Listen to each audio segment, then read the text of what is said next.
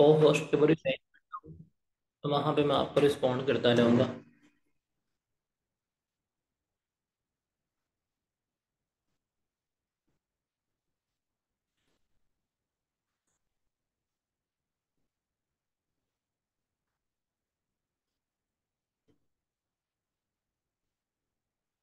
जी जनाब, कैसे हैं आप लोग?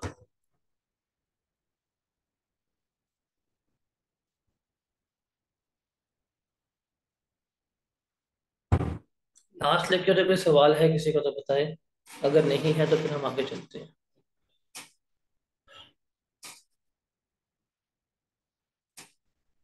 आप लोगों ने अपने तमाम मैसेजेस जो हैं वो को होस्ट को भेजने हैं, मुझे नहीं भेजने।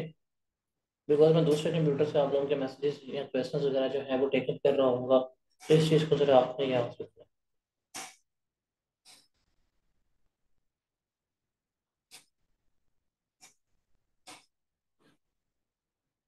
लास्ट लेक्चर से, कल के लेक्चर से कोई सवाल है किसी का तो मुझे बताए। अगर नहीं है तो हम आगे चलते हैं फिर। और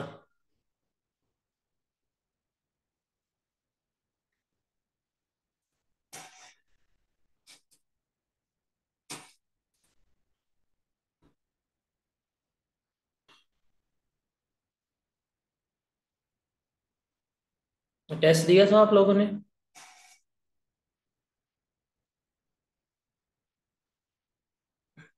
टेस्ट दिया था। कैसा हुआ टेस्ट आसान था ना?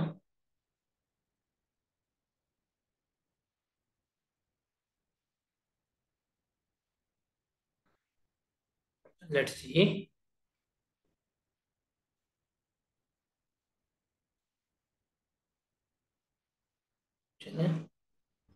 टेस्ट का टाइम वही है, उसमें हम एडजस्टमेंट नहीं कर सकते। बिकॉज़ हमने बाकी चीज़ें जो हैं वो भी क्या करनी होती हैं, देखनी होती हैं। ओके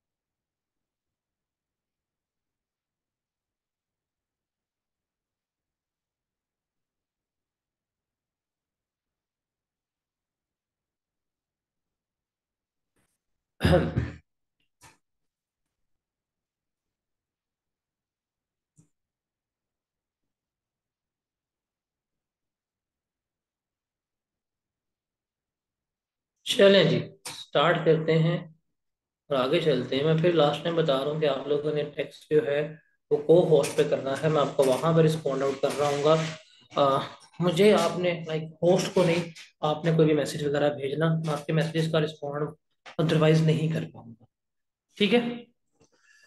स्टार्ट करते हैं विदाउट वेस्टिंग एनी टाइम कल हमने डिस्कशन की थी टैक्स ईयर की, और अब हम कहानी आगे लेके चलेंगे कि टैक्स किसने पे करना होता है पर्सन ने पे करना होता है। तो यहाँ पे पर्सन जो है वो हमारा एक्सप्लेन है। पर्सन किसे कहते हैं, किसे नहीं कहते, वो हम क्या करेंगे, वो हम यहाँ पर उसको लेके चल रहे होंगे डिस्कस आउट कर रहे होंगे।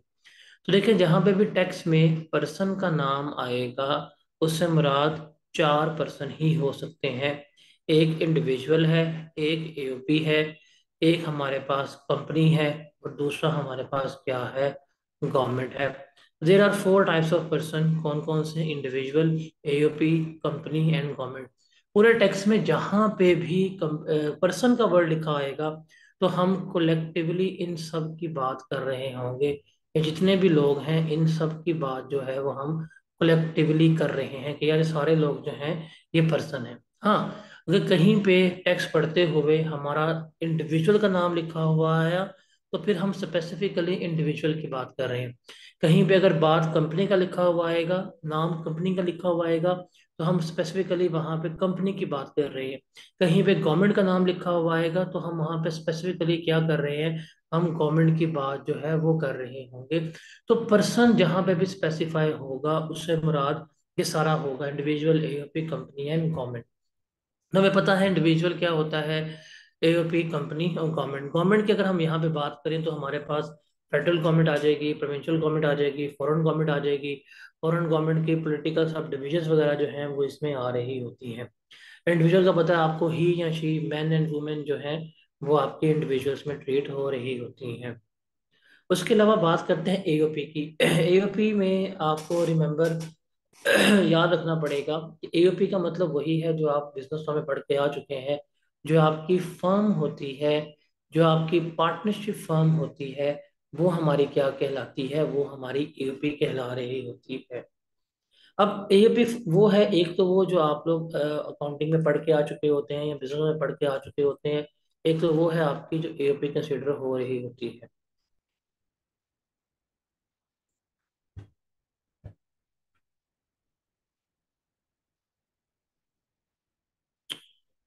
क्या मसला है?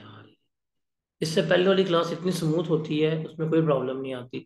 इसमें पता नहीं क्या मसला पड़ जाता है इसको।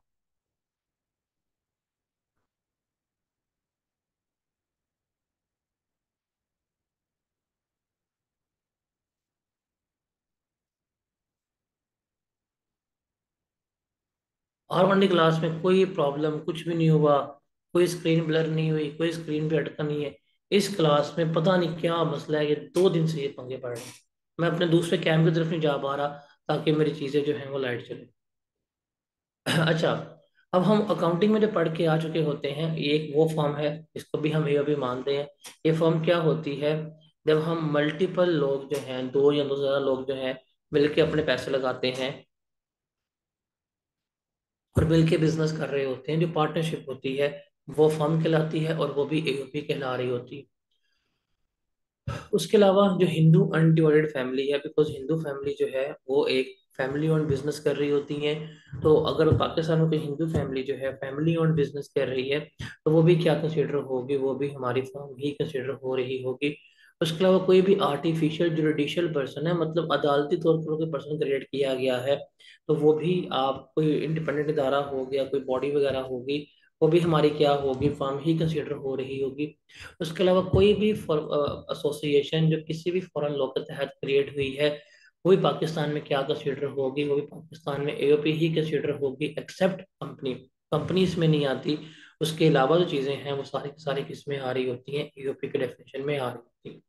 तो ये एओपी जो है, आपको याद करने की ज़रूरत नहीं है। लाइक इसमें ऐसा जो पेपर में पूछा कर डिफाइन एओपी के एओपी क्या होती है, बताएँ या ना बताएँ तो ऐसा पेपर में नहीं पूछना होता। तो बस पता होना चाहिए एओपी क्या है, क्या नहीं है। फिर मसला। इससे पहले लाइक इससे हैवी सॉफ्टवेयर में मैंने आर की क्लास करवाई है और उसमें कोई एरर स्क्रीन के ऊपर कुछ नहीं आया। अब यहाँ पे मेरी स्क्रीन स्टॉप हुई हुई अजीब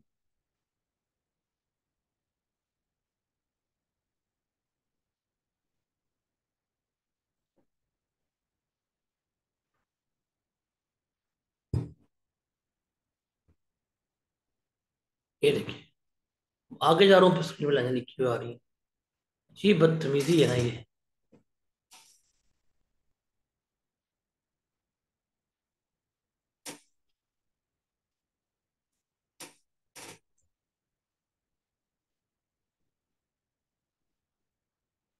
भाई, इससे एग्जैक्ट दस मिनट पहले ना आर वन मेरा जो है, वो ऑफ़ हुआ है। कोई प्रॉब्लम नहीं, मुझे आई। इसमें प्रॉब्लम आती है। पता नहीं क्या है। हर, उसके बाद कंपनी है। कंपनी की डेफिनेशन जो है, वो भी हमें याद करने की ज़रूरत जो है, वो नहीं है। पर देखेंगे कंपनी क्या होती है, क्या नहीं होती, उसमें देखेंगे क्या कुछ इंक्लूड है और क्या कुछ इंक्लूड नहीं है। जब कंपनी की बात होगी रिमेंबर वो तमाम कंपनीज़ जो कंपनी एक्ट 2017 के मुताबिक एक्सप्लेन है, जो कंपनी एक्ट 2017 के मुताबिक बताई गई हैं, वो भी हमारी क्या कंसिडर होती है? कंपनी कंसिडर हो रही होती है। उसके अलावा स्मॉल कंपनी जो इनकम टैक्स ऑर्डिनेंस के मुताबिक बनती है, या डिक्लेयर की गई है, उसे भी हम क्या करेंगे? उसको भी हम कंपनी ही कंसिडर करेंगे। उसके अलावा कोई भी बॉडी कॉरपोरेट जो पाकिस्तान में फोर्स हुई है, किसी भी कानून के तहत, वो भी क्या होगी हमारी? वो भी कंपनी ही कंसिडर हो रही होगी। अब जहाँ पे भी बात है ना वर्ड कॉरपोरेट का, जहाँ पे भी वर्ड आपके पास आएगा कॉरपोरेट का तो रिमेंबर ये इसका मतलब ही होता है कि रजिस्टर्ड एज अ कंपनी ये रजिस्टर्ड एज अ कंपनी जो है, उसकी बात हो रही होती है। जहाँ पर वर्ड आएगा कॉरपोरेट का, उसका मतलब क्या है कि रजिस्टर्ड एज अ कंपनी के तौर के ऊपर हम बात कर रहे हैं। कोई भी बॉडी कोई भी इदारा जो कॉरपोरेटेड है, जो जिसका स्ट्रक्चर जिसमें शेयर होल्डर्स हैं बोर्ड है, जो इस तरह से फॉर्म हुआ है, वो भी कहाँ आएगा? वो भी कंपनी ही कहला रहा होगा। इसके अलावा मुदारबा जो है, ये भी कंपनी होती है। उसके अलावा ये वाला पॉइंट जो है, हमारे लिए इम्पोर्टेंट है। वो कहता है कोई भी बॉडी कोई भी इदारा जो इनकॉर्पोरेट हुआ है इनकॉर्पोरेट का मतलब होता है registered as a company by और under the law of a country outside Pakistan Pakistan से बाहर हुआ है। और किस कानून के तहत which is relating to incorporation of company जो कंपनीज़ की इनकॉर्पोरेशन के मुताबिक था, जो कंपनीज़ की रजिस्ट्रेशन के मुताबिक था, उस कंपनी को हम भी क्या मानेंगे? कंपनी ही कंसिडर कर रहे होंगे। फॉर एग्ज़ाम्पल अगर कोई कंपनी है यूएसए में क्रिएट हुई है as L L C limited liability corporation और वो पाकिस्तान में आके भी काम कर रही है तो वो अगर वहाँ पे एज अ कंपनी के तौर के ऊपर रजिस्टर्ड थी तो पाकिस्तान में भी क्या होगी? वो एज अ कंपनी के तौर के ऊपर ही रजिस्टर्ड होगी और पाकिस्तान में भी एज अ कंपनी के तौर के ऊपर ही काम कर रही होगी।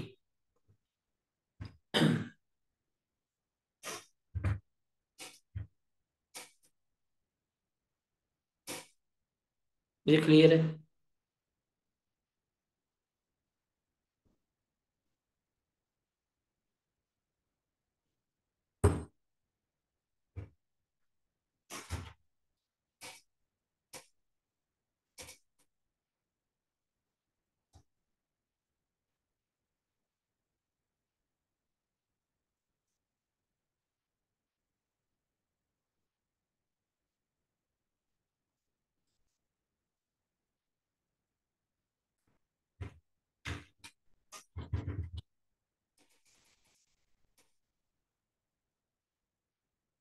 फिर आप लोग होल्ड करें, मैं अपना लैपटॉप रिस्टार्ट कर रहा हूँ।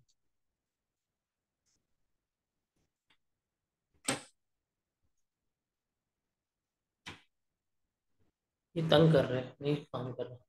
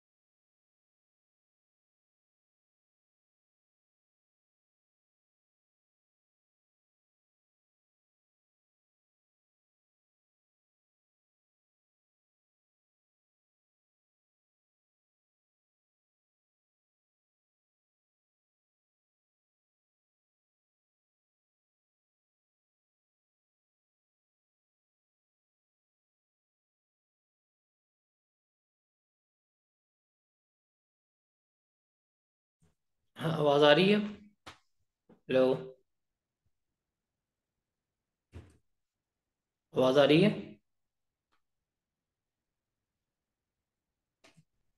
जी अब ट्राई करते हैं दोबारा।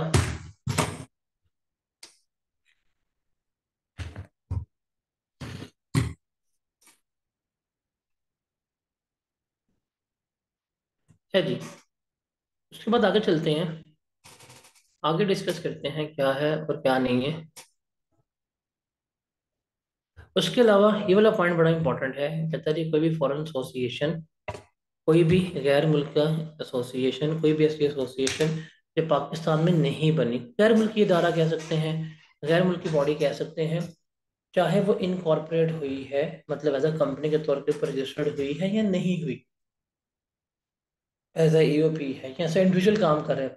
लेकिन जिसको बोर्ड ने यहाँ बोर्ड से मुराद है एफ़ जिसने बोर्ड ने जनरल ऑर्डर के ज़रिए या स्पेशल ऑर्डर के लिए अगर कह दिया है कि तुम कंपनी हो तो ये भी क्या कंसिडर होगी? ये भी कंपनी ही कंसिडर होगी।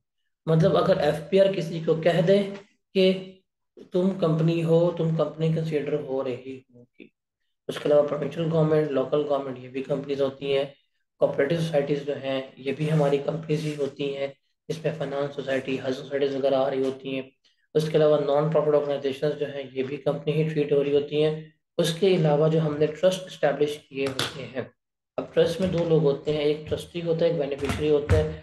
ट्रस्टी ने अपने एसेट्स जो है बेनिफिशरी ने अपने एसेट्स जो है, एक बंदे को रखवाया होते हैं, उसको अपना क्या किया होता है केयर टेकर बनाया होता है, वो उसके एसेट्स मैनेज करता है। उसका तमाम एसेट्स का बेनिफिट जो है, वो दूसरे बंदे को दे रहा होता है। जो ये एसोसिएशन क्रिएट होती है ये ट्रस्ट की कहलाती है और इसमें भी ये जो है, हमारा क्या कंसिडर हो रहा होता है, हमारा ये लाइक कंपनी कंसिडर हो रही होती है।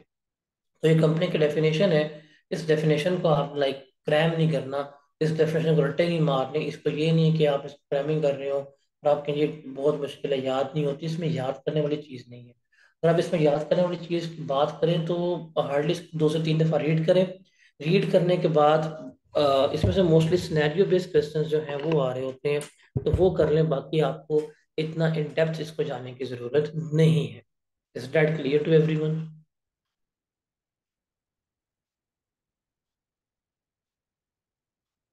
जी जनाब, ये क्लियर है?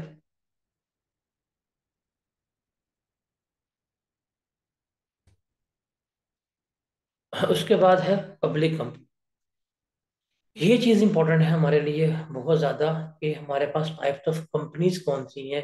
Types of company is more important than the company definition because company की टाइप चेंज होने से कंपनी की इकसाम चेंज होने की वजह से पूरी की पूरी जो शेयर्स की टैक्सेशन है वो चेंज हो जाती है। आगे जाके हमने चैप्टर पढ़ना है, उस चैप्टर का नाम है कैपिटल गेन्स आगे जाके हमने चैप्टर पढ़ना है, उस चैप्टर का नाम है कैपिटल गेन्स उस कैपिटल गेन के चैप्टर में अगर कोई चेंज हो जाती है कंपनी के टाइप तो पूरे का पूरा उसका टैक्सेशन स्ट्रक्चर जो है वो तब्दील हो जाता है, वो चेंज हो जाता है कि यार इसको हम इस तरह से क्या कर रहे होंगे डील कर रहे होंगे। अब इसके लिए हमारे लिए क्या है इंपॉर्टेंट चीज़, वो कंपनी की डेफिनेशन है कि पब्लिक कंपनी क्या होती है या प्राइवेट कंपनी क्या होती है। अगर हम बात करें प्राइवेट कंपनी के परस्पेक्टिव पे तो प्राइवेट कंपनी वो कंपनी है a company which is not a public company is known is known to be a private company ऐसी कंपनी जो पब्लिक कंपनी नहीं है, उसे हम क्या कहेंगे? उसको हम प्राइवेट कंपनी कह रहे होंगे। इसका मतलब पब्लिक कंपनी की डेफिनेशन जो है, वो बहुत ज़्यादा इंपॉर्टेंट है इस परस्पेक्टिव पे। मेरा आपसे सवाल है, एक कंपनी का नाम लिखा हुआ है A B C private limited एक कंपनी का नाम है A B C private limited अगर मैं आपसे पूछूँ, बताएँ पब्लिक कंपनी है कि प्राइवेट कंपनी है? आपका क्या जवाब होगा? ज़रा बताएँ। What would be your answer अगर पूछा जाए कि पब्लिक कंपनी है कि प्राइवेट कंपनी है आप सबका जवाब जो है वो आएगा जी प्राइवेट कंपनी है प्राइवेट कंपनी है प्राइवेट कंपनी है। लेकिन रिमेंबर टैक्स के परस्पेक्टिव में हम नाम के ऊपर कभी भी कंपनी को मैनेज नहीं कर रहे होते। नाम बेशक इसका प्राइवेट लिमिटेड है लेकिन हमने देखना है ये क्राइटेरिया अब वो क्राइटेरिया है अगर इस, इस क्राइटेरिया में से किसी भी एक में फॉल कर गई इसे हम क्या कहेंगे? इसे हम पब्लिक कंपनी मान रहे होंगे।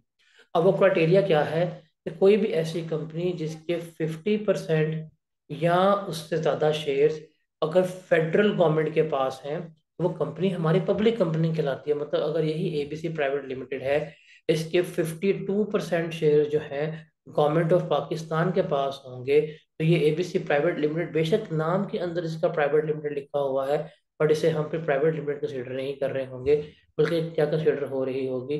ये हमारी पब्लिक कंपनी जो है वो कंसिडर हो रही होगी। ओके उसके अलावा कोई भी ऐसी कंपनी जिसके फिफ्टी परसेंट या उससे ज़्यादा शेयर्स जो हैं आपकी प्रोविंशियल गवर्नमेंट के पास हो। कोई भी ऐसी कंपनी जिसके फिफ्टी परसेंट या उससे ज़्यादा शेयर जो हैं वो आपकी प्रोविंशियल गवर्नमेंट के पास हो। मतलब सूबाई हुकूमत हो गई, पंजाब गवर्नमेंट हो गई के पी की गवर्नमेंट हो गई, बलोचिस्तान गवर्नमेंट हो गई, सिंध गवर्नमेंट हो गई अगर उससे किसी भी प्रोविंशियल गवर्नमेंट के पास शेयर्स हैं तो ऐसी कंपनी भी क्या कहलाएगी? हमारी पब्लिक कंपनी जो है, वो कहला रही होगी। पब्लिक कंपनी कंसिडर हो रही होगी। उसके अलावा कोई भी ऐसी कंपनी जिसके फिफ्टी परसेंट या उससे ज़्यादा शेयर कोई भी ऐसी कंपनी जिसके फिफ्टी परसेंट या उससे ज़्यादा शेयर जो है, वो किसके पास हों? किसी भी फॉरेन गवर्नमेंट के पास हों। मतलब यूके गवर्नमेंट है सऊदी गवर्नमेंट है, कोई भी फॉरेन गवर्नमेंट के पास, अगर तो वो भी क्या कहलाएगी हमारी पब्लिक कंपनी कहला रही होगी। उसके अलावा, इधर गया मेरा कर्सर उसके अलावा, कोई भी ऐसी कंपनी जिसके फिफ्टी परसेंट या उससे ज़्यादा शेयर ये ध्यान से सुनना, कोई भी ऐसी कंपनी जिसके फिफ्टी परसेंट या उससे ज़्यादा शेयर किसी फॉरेन कंपनी के पास है। किसी फॉरेन कंपनी के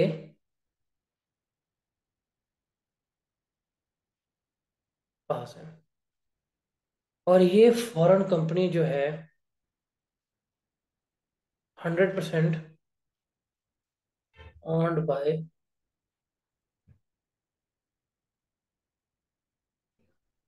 foreign government है। मतलब ये फॉरेन कंपनी इसको सौ फ़ीसद कौन ऑन कर रहा है? फॉरेन गवर्नमेंट ऑन कर रही है। और ये फॉरेन कंपनी किसी कंपनी के पचास परसेंट ज़्यादा का शेयर ऑन कर रही है तो ये कंपनी भी हमारी क्या कहलाएगी? ये कंपनी भी हमारी पब्लिक कंपनी जो है, वो कंसिडर हो रही होगी। उसके अलावा कोई भी ऐसी कंपनी जो लिस्टेड है स्टॉक एक्सचेंज ऑफ़ पाकिस्तान में, किसी भी स्टॉक एक्सचेंज के ऊपर और ईयर एंड के ऊपर भी वो क्या रहती है? ईयर एंड के ऊपर भी वो लिस्टेड रहती है। मतलब ईयर एंड है तीस जून। अगर वो तीस जून को भी जो है, अगर वो लिस्टेड रहती है तो फिर वो क्या होगी? पब्लिक कंपनी अगर डीलिस्ट हो गई तो फिर पब्लिक कंपनी कंसिडर नहीं होगी। उसके अलावा जो हमने यूनिट ट्रस्ट वगैरह फॉर्म किए होते हैं मतलब सबने अपने पैसे जो है पूल किए हुए हैं फंडेड किए हुए हैं और जो उसके सिंपल स्मॉलेस्ट यूनिट्स बनाए हुए हैं, वो भी हमारी क्या होती है? पब्लिक कंपनी कहलाती है। अब रिमेंबर कोई भी कंपनी कोई भी कंपनी इनमें से किसी भी एक क्राइटेरिया को फिलफिल कर जाए किसी भी एक क्राइटेरिया को अगर वो फुलफिल कर देती है तो ऐसी कंपनी को हम क्या कहेंगे? ऐसी कंपनी को हम पब्लिक कंपनी जो है, वो कह रहे होंगे। इज़ डेट क्लियर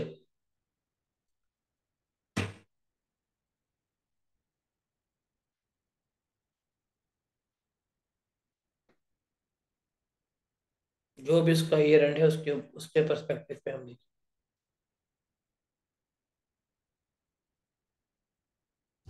सुबह आगे चलते हैं। फिर मसला करें।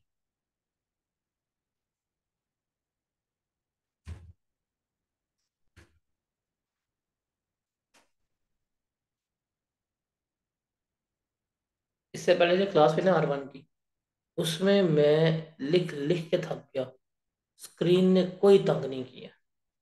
अब स्क्रीन मेरी बार बार हैंग हो रही है। पता नहीं क्या मसला है इसको।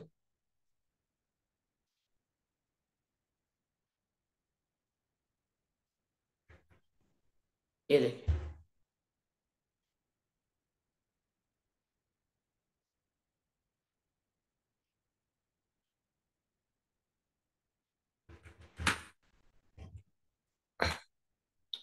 क्या मसला है यार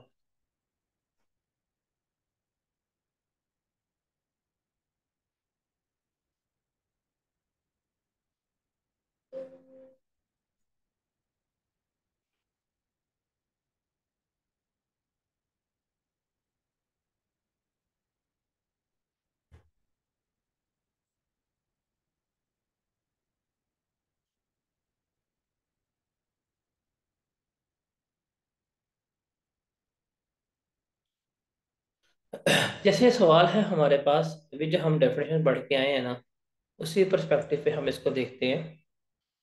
Briefly state with reason whether or not you consider the below mention companies to be a public company for tax purpose जो उसने हमें ये कंपनीज़ बता दी हैं, क्या हम इनको पब्लिक कंपनी के तौर पर इनको कंसिडर करेंगे या नहीं करेंगे?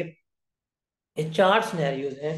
इसको हमने देखना है और अभी जो हम क्राइटेरिया पढ़ के आए हैं, उसके परस्पेक्टिव से हमने क्या करना है, इसको देखना है।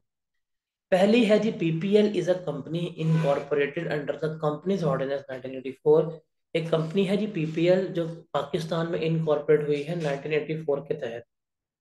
And is not listed on any stock exchange in Pakistan लेकिन पाकिस्तान की किसी भी स्टॉक एक्सचेंज में वो लिस्टेड नहीं है। किसी भी स्टॉक एक्सचेंज में उसके शेयर्स जो हैं वो ट्रेड नहीं हो रहे। ओके. यहाँ तक पढ़ूं तो यहाँ तक पढ़कर समझ आता है कि अगर वो लिस्टेड नहीं है अनलिस्टेड कंपनी है तो ये प्राइवेट कंपनी होनी चाहिए। टू बी वेरी ऑनेस्ट ये फील आता है।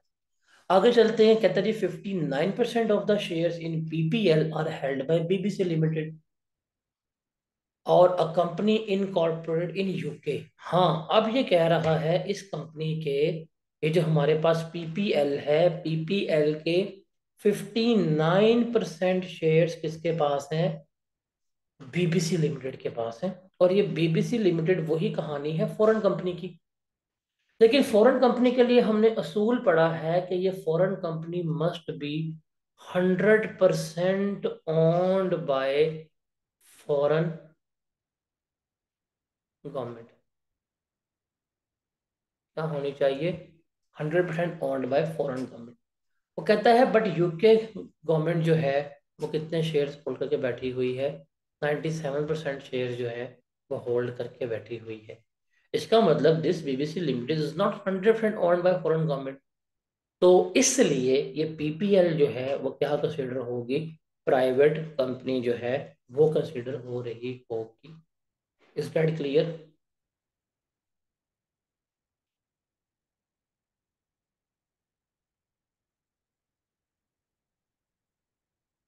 जी जनाब, ये क्लियर है। उसके बाद अगला पॉइंट देखते हैं। कहता है जी X Y Z limited is a public company incorporated under the company ordinance 1984 whose shares were traded on Pakistan stock exchange from 1 August 2020 until 31 June 2021 on which the date company was delisted on the exchange इस date पे company क्या होगी? Delist होगी। Year and पे। अब year and हमारा है 30 जून 2021 असूल था कि इस ईयर एंड पे, इस डेट पे इसको क्या होना चाहिए? लिस्टेड होना चाहिए। It was not listed at that time इसलिए ये भी कंपनी क्या कहलाएगी? हमारी प्राइवेट कंपनी कंसिडर होगी पब्लिक कंपनी कंसिडर नहीं हो रही होगी। ये वाला पॉइंट क्लियर है? उसके बाद है the provincial government of KP K holds 50% of the shares in ABC limited provincial government of KP K मतलब ये क्या है? Provincial government 50 percent share own कर रही है एबीसी लिमिटेड में। एबीसी लिमिटेड पब्लिक कंपनी है जो रजिस्टर्ड हुई है 1984 के तहत। ABC limited is not listed on any stock exchange in Pakistan but ये एबीसी लिमिटेड किसी भी स्टॉक एक्सचेंज के ऊपर लिस्टेड नहीं है। अगर मैं लिस्टेड की बात करूँ, इस परस्पेक्टिव से तो ये प्राइवेट कंपनी बनती है, लेकिन असूल क्या था कि कोई एक पॉइंट भी फुलफिल हो जाए। अब चूँकि प्रोविंशियल गवर्नमेंट इसके 50 परसेंट शेयर ऑन कर रही है तो इसलिए ये कंपनी एबीसी लिमिटेड क्या कंसिडर होगी? पब्लिक कंपनी कंसिडर हो रही होगी। उसके बाद है B R R is a public company under the companies ordinance 1984 41 percent of the shares are held by federal government इस बी आर आर की जो हम बात कर रहे हैं, इस बी आर आर के 41 परसेंट शेयर किसके पास हैं? फेडरल गवर्नमेंट के पास हैं।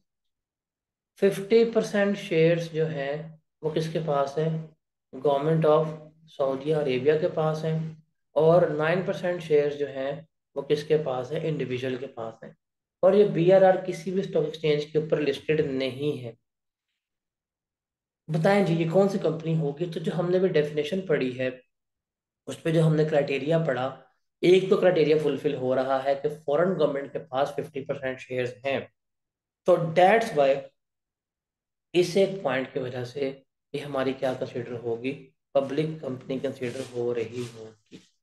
गॉट इट उसके बाद अगला पॉइंट है, कहता जी briefly state with the reasons whether Anderson Incorporation will be assessed as a company for tax purpose, for the relevant tax year इस एंडरसन इनकॉर्पोरेशन को क्या हम कंपनी के तौर के ऊपर मानेंगे? क्या हम इसको कंपनी के तौर के ऊपर कंसीडर करेंगे कि नहीं करेंगे? ये बताना now requirement is very important उसने क्या पूछा है, क्या नहीं पूछा? ये चीज़ हमारे लिए बहुत ज़्यादा अहम है।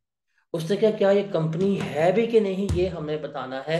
कहते जी Anderson incorporation is a public company incorporated under the law of UK relating to the incorporation of companies and it has been operating in Pakistan for over 50 years. पिछले 50 सालों से वो पाकिस्तान में काम कर रहे हैं। Control and management of the Pakistan branch for the accounting year ended इकतीस December was wholly outside Pakistan लेकिन इस कंपनी का कंट्रोल एंड मैनेजमेंट क्या है? पाकिस्तान से बाहर है। तो बताएँ क्या एंडरसन इन कॉरपोरेशन को हम कंपनी कंसीडर करेंगे कि नहीं करेंगे? बताएँ जी क्या जवाब होगा आप लोगों का? क्या ये कंपनी है कि नहीं है?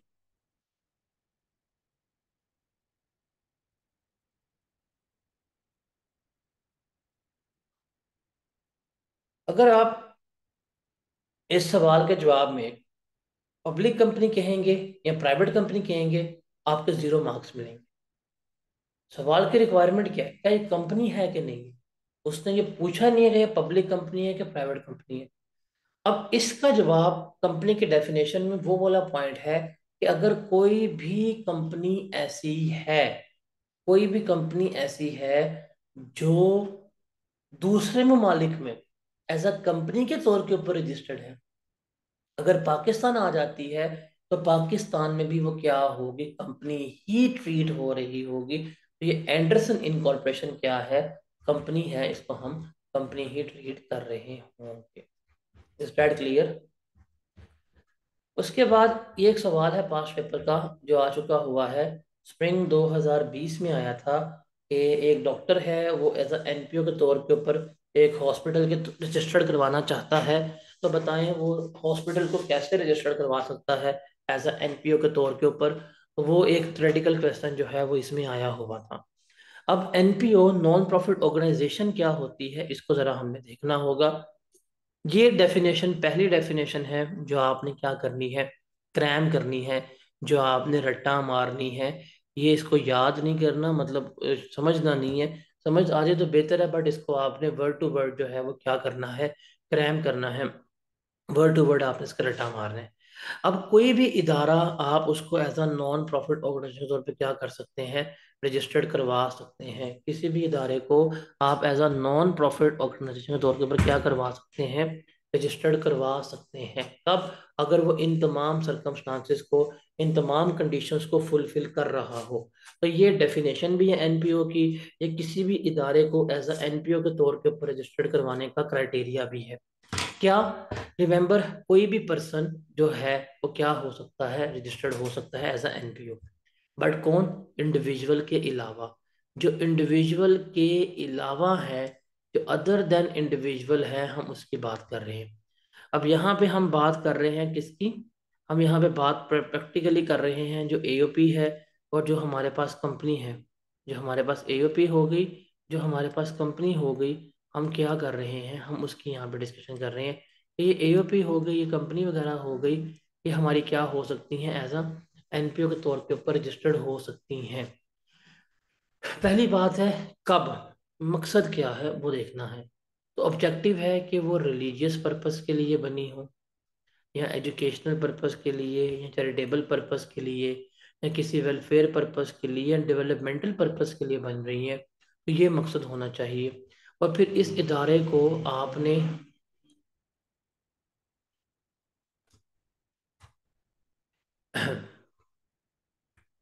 ये जो इदारा है, ये as a non profit organisation के तौर के ऊपर क्या है? As a non profit organisation के तौर के ऊपर रजिस्टर्ड भी करवाया आपने। मतलब कंपनीज़ एक्ट के मुताबिक सेक्शन बयालीस के मुताबिक आपने इसको एज एनपीओ के तौर के ऊपर रजिस्टर्ड भी करवाया। करवा लिया अब टैक्स वालों के पास आ गए हैं। जी, हमें भी आप सर्टिफिकेट दे दें। अब हमें भी अलाउ कर दें कि हम एनपीओ हैं। बिकॉज़ टैक्स वगैरह नहीं पे करना पड़ेगा। तो जो कमिश्नर है कमिश्नर क्या करेगा? अगर ये ऊपर तमाम कंडीशन फुलफिल करके आते हैं तो कमिश्नर भी क्या करेगा? इनको सर्टिफिकेट इशू कर देगा, जिसमें क्या किया जाएगा कि उनको एज ए एनपीओ के तौर के ऊपर रजिस्टर्ड कर दिया जाएगा। लेकिन उसके लिए कुछ नेसेसरी डॉक्यूमेंट्स होंगे, वो इनको प्रोवाइड करने पड़ेंगे। उसके अलावा कमिश्नर इनके ऊपर एक कंडीशन लगा देगा कि इस इदारे के क्या एसेट्स हो गए या इस इदारे के रेवेन्यू हो गए जो भी इस इदारे के ऑनर्स होंगे वो अपने पर्सनल बेनिफिट्स के लिए इस्तेमाल नहीं करेंगे। अगर ये तमाम कंडीशंस फुलफिल हो जाती हैं तो हम क्या कंसिडर करेंगे? आपको टैक्स के परस्पेक्टिव में नॉन प्रॉफिट ऑर्गेनाइजेशन कंसिडर कर रहे होंगे। इज़ डेट क्लियर आपके स्क्रीन पर नज़र आ रही है, इसको रीड कर लें तो मुझे बताएँ, फिर हम आगे चलते हैं, आगे मूव करते हैं।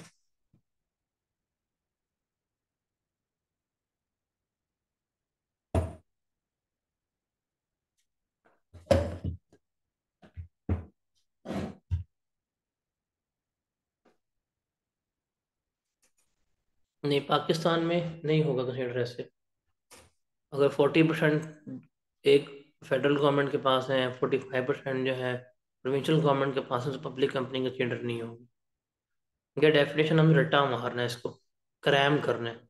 हिल हिल के याद कर स्टैब्लिश हो रिलीजियस पर्पज ये आपको याद करनी पड़ेगी। जी all full condition must be needed to fulfil NPO not anyone every every each and every condition must be fulfilled otherwise आप एनपीओ के तौर के ऊपर कंसिडर नहीं हो सकते।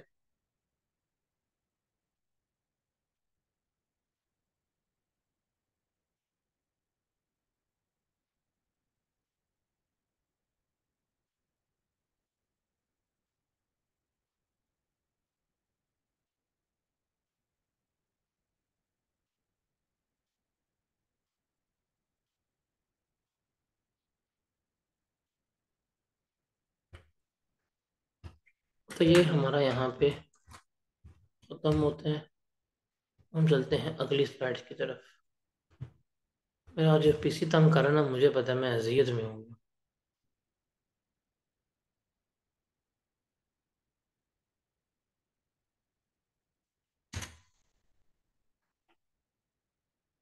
अब आगे चलते हैं। देखें, अब हमने देखना है जियोग्राफिकल सोर्स ऑफ़ इनकम कि हम जो पैसे कमा रहे हैं, उनको हमने जियोग्राफिकली लोकेशन के हिसाब से हमने उनको मुख्तलिफ़ सोर्सेज में डिवाइड किया हुआ है कि कुछ ऐसे पैसे हैं जो आप पाकिस्तान से कमा सकते हैं, कुछ ऐसे पैसे हैं जो आप पाकिस्तान से बाहर से कमा सकते हैं। तो लोकेशन के लिहाज से हमने क्या किया है? हमने इनकम को दो सोर्सेज में डिवाइड कर दिया है। एक वो है जो आप कमाएँगे पाकिस्तान से, एक वो है जो आप कमाएँगे पाकिस्तान से बाहर से। तो पाकिस्तान सोर्स ऑफ़ इनकम है और दूसरा है foreign source of income Pakistan source of income से क्या मुराद है कि आपने ये पैसा, ये इनकम ये आमदनी, ये रकम, ये अमाउंट पाकिस्तान की हदूदों के यूथ से कमाई है। ये सैलरी जो है वो आपने कहाँ से कमाई है? वो पाकिस्तान से कमाई है। ये बिज़नेस कहाँ पे किया है? पाकिस्तान में किया है। ये कैपिटल गेन कहाँ से आया है? आपका पाकिस्तान से आया है। अदर सोर्स के पैसे कहाँ से आए हैं? पाकिस्तान से आ रहे हैं। तो जब पाकिस्तान के रिसोर्सेज पाकिस्तान के सारे इस्तेमाल करते हैं, पाकिस्तान में सर्विस से पैसे कमाए हैं, वो आपकी क्या कहलाती है? पाकिस्तान सोर्स ऑफ़ इनकम कहलाती है। पाकिस्तान सोर्स ऑफ़ इनकम के लिए एक बेंच रूल याद कर लीजिएगा कि पाकिस्तान सोर्स ऑफ़ इनकम जो है वो हमेशा टैक्सेबल होती है। पाकिस्तान सोर्स ऑफ़ इनकम जो है वो क्या होती है? हमेशा टैक्सेबल होती है। दूसरी है हमारे पास foreign source of income foreign source of income हमारे पास क्या होती है कि ये वो इनकम है जो हमने पाकिस्तान से नहीं, बल्कि पाकिस्तान के बाहर से अर्न की है। लाइक आपने बाहर से सैलरी अर्न करके आ गए, बाहर प्रॉपर्टी है, वहाँ से रेंट आ गया। बाहर आपके पास एसेट्स हैं, वो बेच दी हैं। बाहर आपके पास शेयर्स हैं, वहाँ से पैसे कमा लिए हैं। वो है जो पाकिस्तान से बाहर से आपने अर्न की है। जो पाकिस्तान से बाहर से अर्न करके पाकिस्तान में लेके आ रहे हो, वो हमारी क्या कहलाती है? वो हमारी कहलाती है फॉरेन सोर्स ऑफ़ इनकम अब सवाल है कि फॉरेन सोर्स ऑफ़ इनकम के ऊपर टैक्स लगेगा या नहीं लगेगा, उसको हमने यहाँ पे देखना है। तो remember Pakistan source of income जो है, वो हमेशा टैक्सेबल है। चाहे वो रेजिडेंट है, चाहे वो नॉन रेजिडेंट है। लेकिन जो फॉरेन सोर्स ऑफ़ इनकम है, वो सिर्फ़ किसकी होगी टैक्सेबल जो रेजिडेंट है, सिर्फ़ उसकी टैक्सेबल होगी।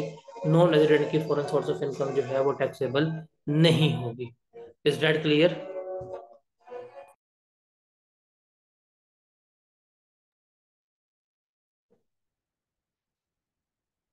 is that clear तो हमें यहाँ पे वर्ड पड़ा है डेट इज़ क्या? रेजिडेंट तो हमने देखना पड़ेगा रेजिडेंट कब होता है, बंदा कब नहीं होता। But by the is the meaning of resident in Urdu अगर मैं आपसे डिक्शनरी का मतलब पूछूँ उर्दू में मतलब पूछूँ रेजिडेंट का मतलब क्या होता है? क्या बताएँगे मुझे आप लोग? रिहायशी।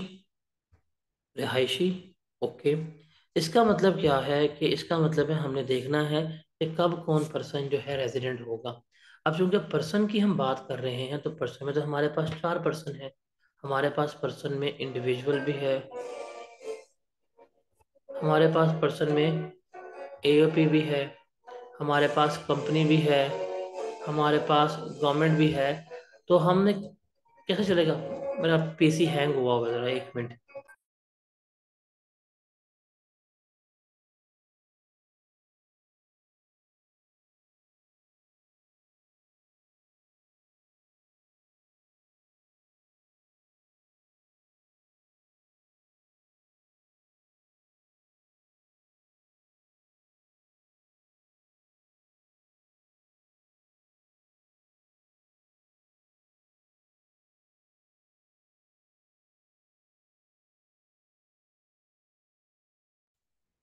आपको डिस्टॉर्शन फेस करनी पड़ रही है बट मुझे खुद समझ नहीं आ रही। इससे पहले वाली क्लास बड़ी स्मूथली होगी और इस पर इतनी प्रॉब्लम्स हैं, उसके लिए माजरत।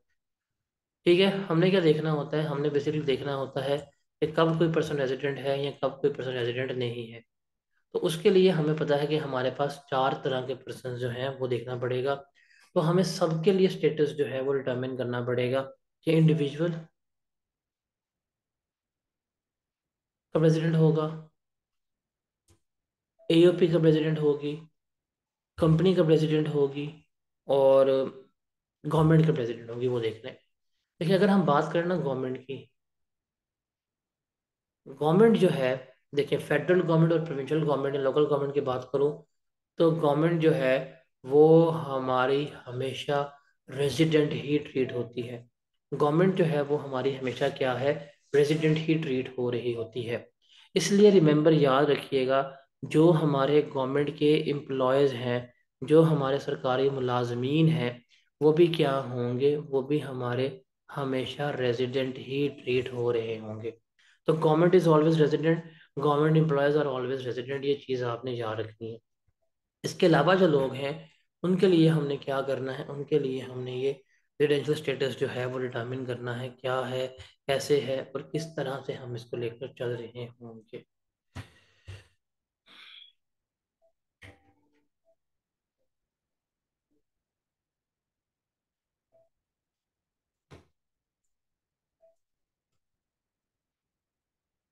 मेरा पीसी बहुत तंग कर रहा है। मैं आपको इसकी वीडियो यूट्यूब पे अवेलेबल कर दूँ, जो रिमेनिंग चैप्टर रह गया। Because like now it's beyond that thing काम नहीं कर रही है बिल्कुल भी।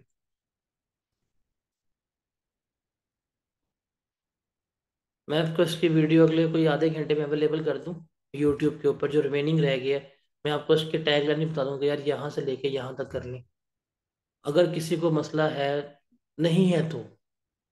अगर किसी को भी कोई कंसर्न है, किसी को भी कोई मसला है, मुझे बता दे। मैं कोई ना कोई अल्टरनेटिव सोचता हूँ। लाइक सीरियसली नहीं, मेरी मर्ज़ी नहीं। आप लोगों के सामने है कि लाइक क्या हो रहा है, क्या नहीं हो रहा। मैं लिख रहा हूँ, लिखा नहीं जा रहा, आगे कर करूँ आगे नहीं जा रहा। लाइक आई एम क्लूलेस इससे पहले मैंने क्लास करवाई है, वो है एफ़ आर वन की, और उसमें मैंने डबल कंप्यूटर यूज़ की है। डबल कंप्यूटर यूज़ किया है। और उसमें वन परसेंट भी एरर नहीं आया।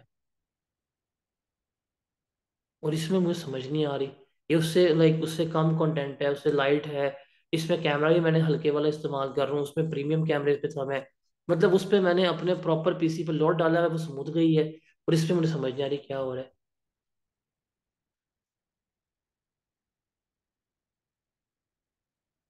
तो अगर किसी को कोई कंसर्न वगैरह, कोई गिला वगैरह है तो मुझे बता दे। मैं कुछ ना कुछ अल्टरनेटिव जो है वो ट्राई कर लेता हूँ। अदरवाइज़ मैं आपसे यूट्यूब की इसकी एक वीडियो जो है वो अभी शेयर करवा देता हूँ। क्या कहते हैं आप लोग?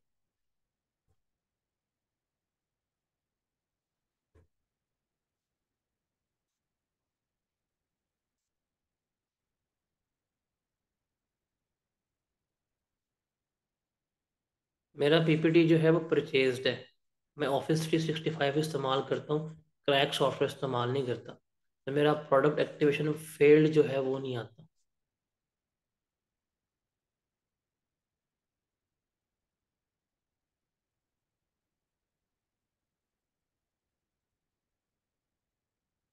किसी को कोई कोई प्रॉब्लम तो नहीं है? मेरे पास स्टोरेज जो है वो वन टीबी की है। आप जो मुझे बताने की कोशिश कर रही है ना, वो सारा मुझे पता है। रैम मेरी थर्टी टू जी बी की भाईजान। बत्तीस जी बी की रैम है। क्या हो गया? आप वो बताए ना जो मुझे ना पता हो चीज़ों का। ये पीपीटी कुछ भी नहीं है इस कंप्यूटर के सामने।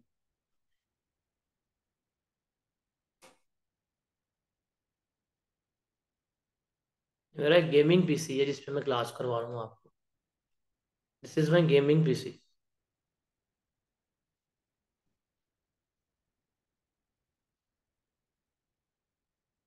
तो आप वो छोड़ दें कि ये कोई आउटडेटेड डिवाइस है या बड़ी लाइक वो ख़राब सी डिवाइस पे चल रहा हूँ मैं, ना। बड़ी प्रीमियम डिवाइस पे काम चला रहा हूँ मैं तो मुझे समझ नहीं आ रही कि इससे पहले वाली क्लास में प्रॉब्लम नहीं हुआ तो अभी है क्या क्या नहीं किया। एनीवेज मैं फिर आपसे रिकॉर्डिंग जो है वो शेयर कर देता हूँ। अच्छा कल के लिए हम लोगों ने सेल्स टैक्स स्टार्ट करना है। और मुझे एक डाउट है कि अगर मैंने रिकॉर्डिंग अपलोड की और आप लोगों ने रिकॉर्डिंग ना कंप्लीट की, फिर ये प्रॉब्लम हो जाएगी। बिकॉज़ मैंने कल सेल्स टैक्स स्टार्ट कर देने और उसकी वीडियो जो है वो अवेलेबल वगैरह नहीं होगी। तो कल मैंने सेल्स टैक्स स्टार्ट करना है, इस चीज़ को ज़रा आपको देखना पड़ेगा। तो रिकॉर्डिंग जो है वो गालिबन होगी आधे से पौने घंटे की बिकॉज़ ये पीसी काम ही नहीं कर रहा। कल हमने सेल्स टैक्स स्टार्ट करना है और उसको हम लेके चलेंगे। ठीक है? माजरत यार, मेरे एंड से आपके सामने है कि काम ही नहीं कर रहा वरना मैं तो पूरी क्लास करवाऊँ। बट ये, इसको देखता हूँ क्या प्रॉब्लम है, क्या प्रॉब्लम नहीं है। तो कल हमने सेल्स टैक्स इंशाल्लाह स्टार्ट करना है, हम उसको वहाँ पे लेके चलेंगे। ओके जी?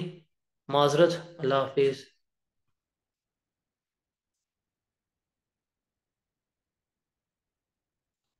क्या मसला है? इसी काम ही नहीं कर रहा। मीटिंग एंड नहीं हो रही है।